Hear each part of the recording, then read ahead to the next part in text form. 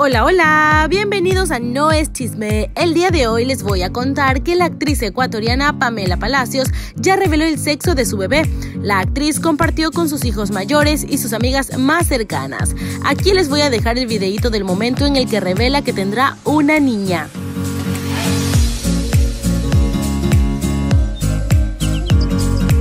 Al inicio de su embarazo muchos la criticaron por embarazarse a cierta edad, ella ahora demuestra que está muy contenta con esta nueva etapa.